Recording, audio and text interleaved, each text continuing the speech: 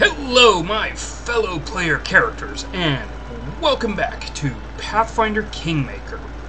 Alright, first of all, I've got to apologize for this being a couple of days late. Um, I had some problems with my audio equipment as well as a brownout, so I had to record this twice, and then the sound didn't come out. So, uh, I've loaded up an old save, and I'm going to be going back through what I had done but uh, last time we went ahead and raided, raided, raided the bandits' camp, and then we went and spoke with a zombie about accomplishing a goal of killing the Stag Lord, which we were already gonna do. So hey, extra rewards for no extra work. But right now we have to go to this old giant sycamore tree. Greetings. Kesten Garess, the former captain of Jamandi Aldori's personal guards, nods to you, as though you'd seen each other in Restov only yesterday.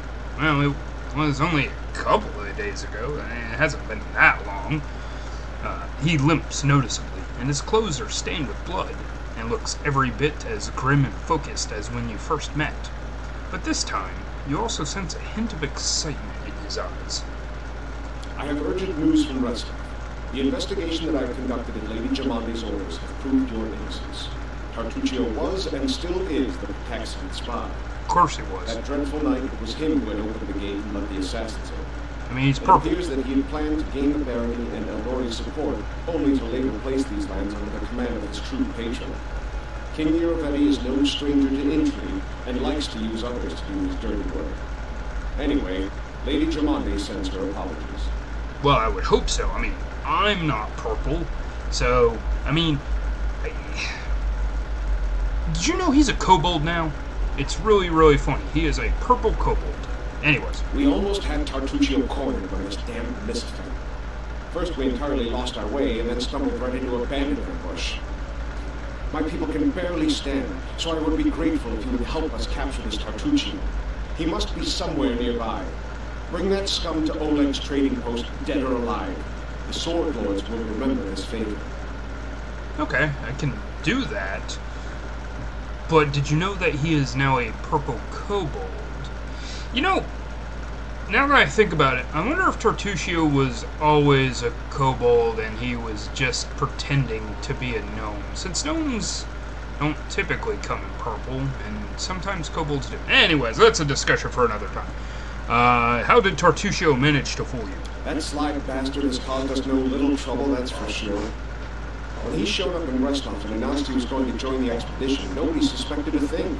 Yes, a gnome, yes, a sorcerer, but so what? He was purple. Even after that terrible night, some of my people were willing to bet money on you being a spy. And again, I will emphasize, he's purple. Like all of him. He's all purple. His overconfidence was his downfall. Tartuccio's henchmen, it seems, imagined they could safely meet with the Pitaxian spies in the town's seedy underbelly. But Restov is the ancestral home of the Aldori, and Lady Jamandi is respected not only by the aristocracy or the common folk, but also by those on the other side of the law. We received a message from the slums. A good friend, who wished to remain anonymous, suggested the Sword Lords take a closer look at a certain guest from Pitax. Jamandi immediately sent for me and ordered me to capture the spy, all very quiet, course. He told us everything, and not only about Tartuccio. I doubt that Irovetti was pleased to hear of his agent's failure. Uh, this is a stupid question. I mean, Irovetti obviously just wanted more land, uh, and you know, having somebody else pay for that se- seize- uh, seizing of land, then you know, all the better. But uh, this is also a discussion that I don't care about. So I'll see you later. Farewell. I think if you show interest in him later on, something could happen. But I always tend to not side with him later on. Maybe I'll do that this time. Okay, so here we have an encounter with kobolds and mites. Cowardly traitors, sons of a pike, return that relic. Coward, turn, Alec. silly, silly kobold. Go look for your, go look your relic, your dungeon. Look under bed, under table. silly kobold have no bed and no table. Search your eggs. You lose relic and blame mites. Accuse queen. Lies, Chief Scale, not silly. Lies, cheat, Scale. Such hubris in such small and simple creatures. But are our own monarchs any better? So warlike. It's like a miniature version of the Taldan Imperial Chronicles. Uh, stop. What's going on here? Stranger. I already forgot what his voice was. Stranger, stranger, you see us? Silly kobold attack might. Insult us, our magnificent queen. Lies, mighty thief. Steal relic from kobold. We revenge. Help us, stranger. Uh, because I'm neutral, and this one's actually usually the one I go with, so you can either side with the mites or the kobolds, and, you know, one will be friendly, one will be aggressive, but uh, this one I think is probably the best one if you don't just want to farm the creatures for XP. If you just want to farm them for XP, uh, you could say you're all disgusting I don't want to help any of you and attack everybody, but well, and you can also, well, let me ask them. Uh, so kobolds, tell me more about what happened. I, I, chief, I name Soot Scale. Kobold and might live here long, live peace. But now, might thief steal our relic. Thief, kill, relic. Now, do you know the relic was stolen by the mites? Might tricksy, but Chief Sootscale is more tricksy. I call, no shaman come. Shaman Tartuk, no stole relic. Tartuk good. Tartuk good, good.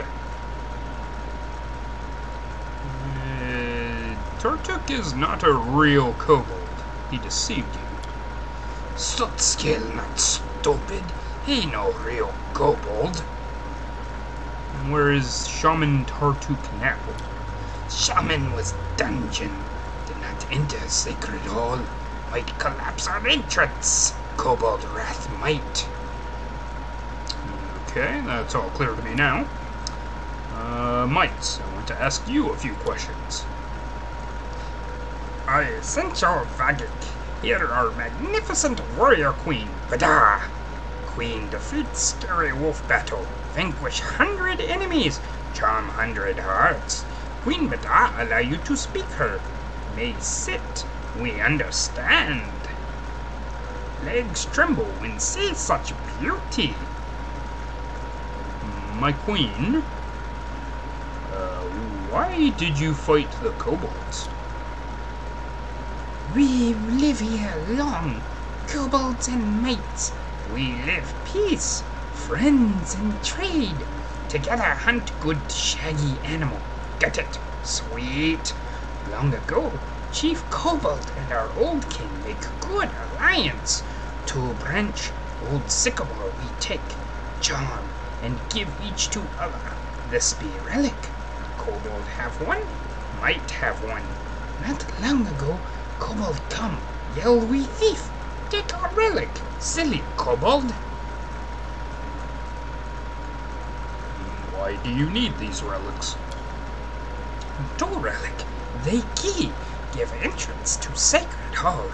There, under old sycamore, one key for Kobold, one key for might. Each can go hall, all fair. Why do the kobolds think the relic was stolen by the mites?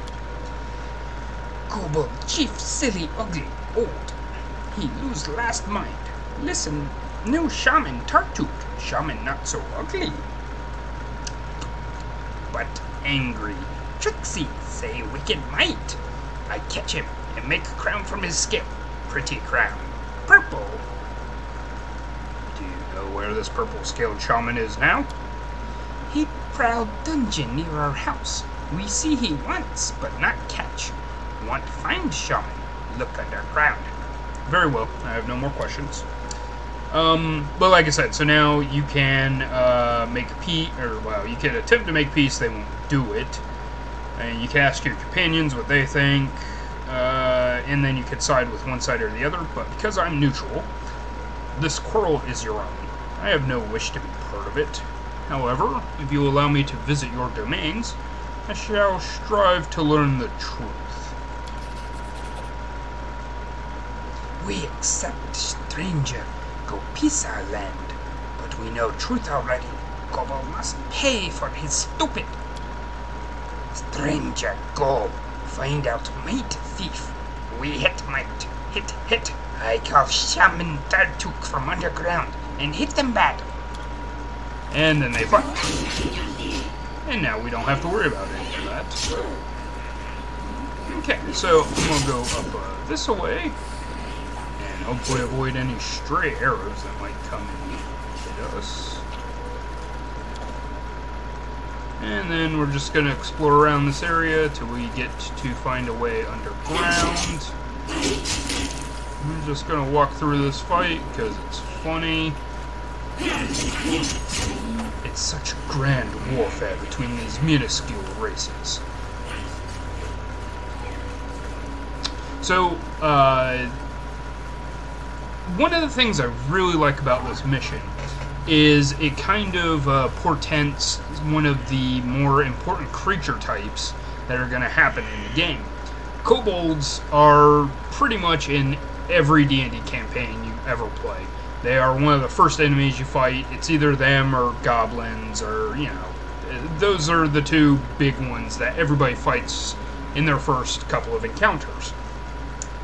But the mites are a lot rarer, and it actually shows you that the fairies or the fae are going to be an important creature type in this campaign. So if I was playing a ranger who needed a favored enemy, uh, fairy or fae would probably be a really good one to take. So I like that kind of game design, that kind of foreshadowing. But we've come across some dead people, and we can lure nature him. The dead man's face is set in a mask of terror. The body is covered with burns. That doesn't help me at all. It's likely he was struck by lightning, or burned by a fire. Oh. Well, crap. That means I... Okay, so I actually failed to open this lock, so this box is going to stay locked until I can level up and try again, which sucks. There are enough supplies to encamp once. Okay, so, and you can spend the night here. This is a noob trap, and I know that because uh, I've fallen for it. Um, you don't want to do this at the level I'm at because the hint here, down here, was this guy was uh, afraid and burned. So, uh, one of the creatures, if you rest here, you'll be ambushed by a creature, and it's a really difficult creature at the level that I am right now. So, we're not going to do that right now. I have to go back to that camp at some point, anyways, to open the lock box. But we will continue to uh, reduce the population of Tasmanian wolves. This should do it.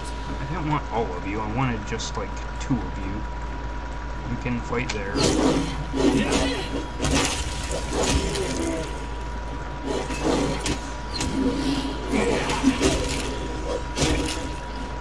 And Amiri has been hurt pretty severely. I'll go ahead and heal her up with a Cure Light Wounds.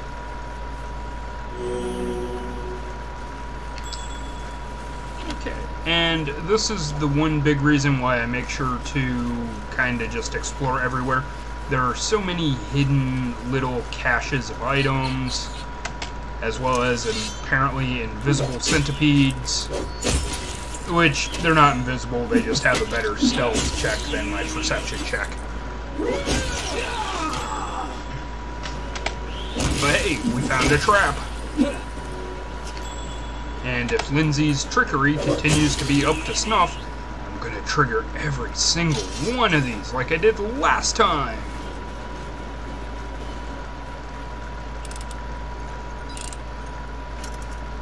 Or she's just gonna fail. Anything else? Okay. She has, I think, uh, 50-50 shot here. Yeah, she has to roll. Now, it's a little bit better than 50-50. Basically, I have to roll a 10, but if she rolls less than 5, then she triggers the trap because I failed it by 5. So, happy day, we triggered an entangle trap. Thankfully, it wasn't a fireball. Or a... I didn't even see that one. All according to plan. But now we're gonna get out of this.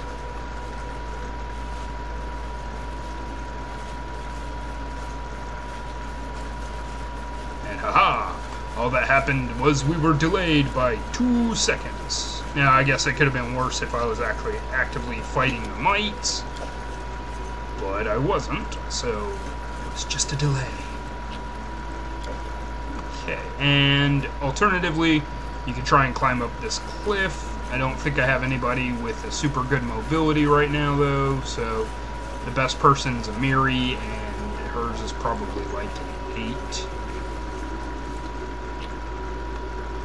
Okay, so now that I'm trying to exit the map, all the kobolds and mites that are dying in the field are leaving their stuff.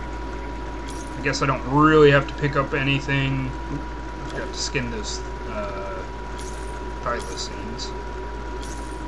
Have to make sure I do that on the way out, but I'm just going to pick up stuff that's worth gold, leave the other equipment, whoops, and off to the depths we go. Alright, so here we are in the Mite Lair, and it looks like they have a bunch of pet centipedes because they're not attacking us.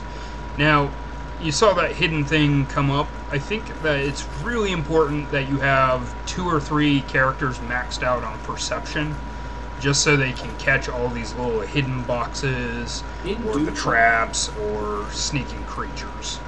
But let's talk to Gatekeeper Quaggy. Daisy, come, good girl. Greeting, ally. You come. Warrior Queen Bada wait you. Queen Beauteous, little centipede. Uh, what lies ahead? All under old sycamore. Here live might and our animals. Careful, some animals still wild. Their deep hole, very dangerous. Up was Kobold Passage, but now it's broken. Kobold drop stones, we lift bridge, no passage.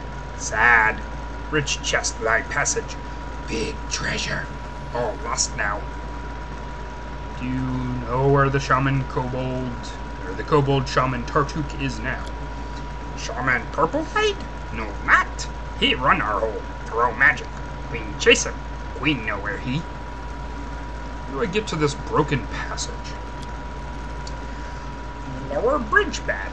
Kobold run away on bridge. Ally make trade, yes? You want passage. I want pretty helmet. You go lower passage. You go lower passage deep. There lie big dead spider. Our great warrior hero mount it until die. Bring me his bug jaw. I give you lever for bridge. You're to chest with loot. I make helmet of spider. Sweet. I must go. Farewell. Okay, so eh, we have a side quest from a mite. And here are deadly centipedes. Many deadly centipedes.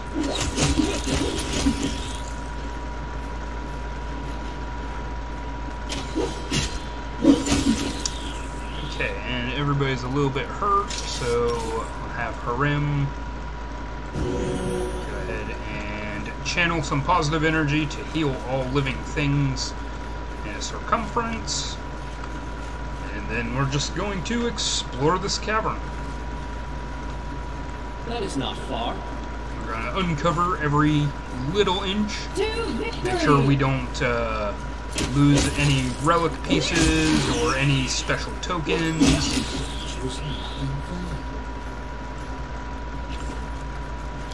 Because these tokens shall be very important when we find the Might Arcade.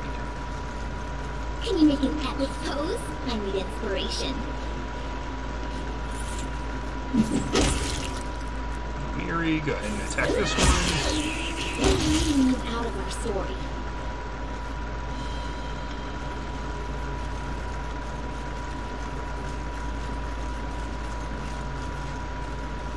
And I do believe I have to go back there into that bigger room. That's why I didn't explore it super carefully. But here is the bridge that Quaggy was talking about. And we're gonna look around a bit.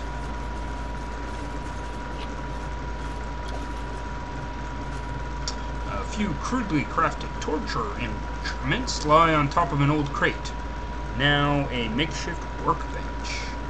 And these mites seem to have a kobold prisoner in a pen. Wonder what's going on here.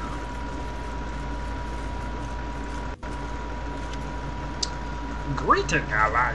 We train animal. Best gets reward. You play too, yes? Alright, so now we have an alignment choice. Uh, we can either be good and tell them to let the kobold go. Uh, nah, I don't care. We could be lawful. You may capture or kill enemies, but do not torment them. Just kill them off. Or, and this one's probably the best one because it gets us a bit of experience and it gives us a uh, dexterity check. So, uh, a contest, I'm in. It's always more interesting with a live target. Miss, you catch kobold and train, ally. Wonder if I can do that again. Nope. So, uh, when I first played through, I wasn't sure if that would tick off some people because it is a chaotic evil action. Which means I just have to do a lawful good action and it'll balance it out. It's fine. I will balance my alignment as any good D&D player knows how to do. Yes, I'll, I'll do an evil act as a paladin, but I'll get an atonement spell. It's okay. Okay, and sometimes the, when these things are stacked like this, it is really hard to find that. Uh, basically, this just says it is a pile of treasure. So we're going to take the mite's treasure because they have no rights to property, not in my land.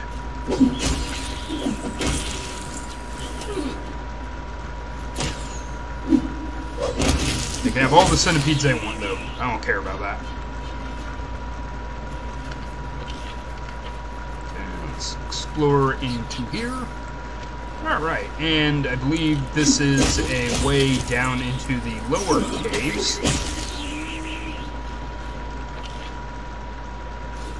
Yep, so that goes down to the second floor, I will take care of that probably next episode. And then our leader charged forwards. Hey, hey, wait for me!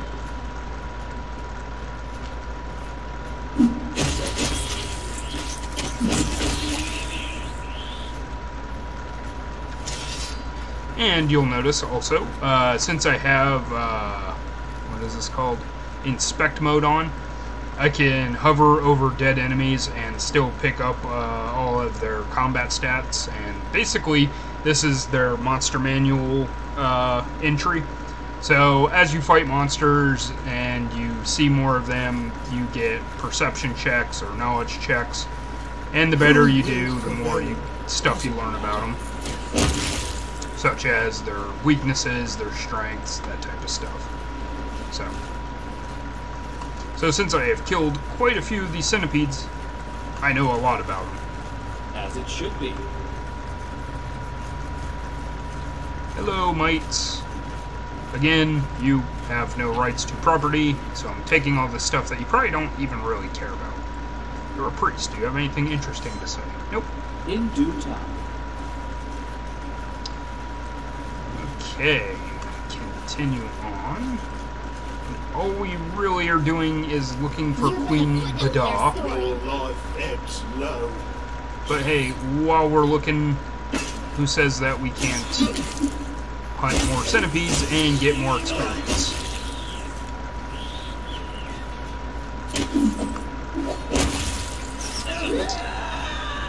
Yeah, Linzi has sadly taken quite a bit of dexterity damage from these things now, which sucks because that is her really good stat for attacking since she is a ranged character. Alright, so here we have a Kobold Comedy Club. Or not Kobold, Might Comedy Club. And the comedian is up on his stage. And will he tell another joke? Well, no, but they all seem to hate him. So maybe that's for the best. And I picked up a recipe, I think. Yes, I did. This is a recipe for shepherd's pie. Awesome. I love shepherd's pie. And now I can make it in-game. But yeah, so even the mites have comedy and know whether or not they suck at it.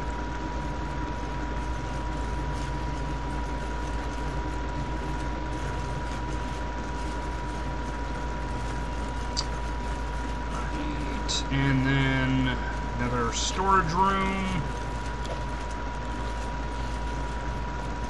I will say I do like having the tab button because a lot of the stuff looks really difficult when you're just trying to look and see what's interactable.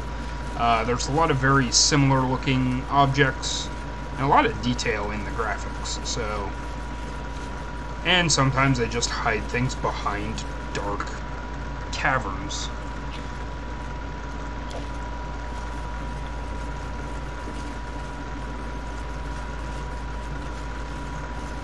Okay, and this is the final room, I believe.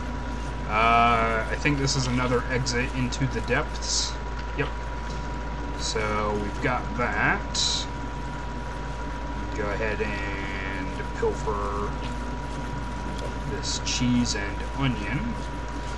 If you come here and talk to the guards, they won't let you pass because you don't have the queen's uh, say so. All according to plan. So let's talk to the queen. Her Majesty Queen, Warrior Queen Badar, welcome ally her chamber. Just in time, my ally. Shaman Purplehide passed vicious magic under our nose and runs sacred Sycamore Hall. He have relic key. Kobold steal our relic. We can follow not. Who help us? How do I get to Sycamore Hall? My guard let you to door, but you need relic. They are two, one half purple hide. Where is second? I know not. Think kobold chief. Forgive me, my queen. I must go. Um, you can ask them how you can help in their war. She'll just tell you to kill off Soot Scale, but we're playing this neutral, so I don't want to kill off Soot Scale, and I don't want to get a quest failure on my quest screen, so yeah.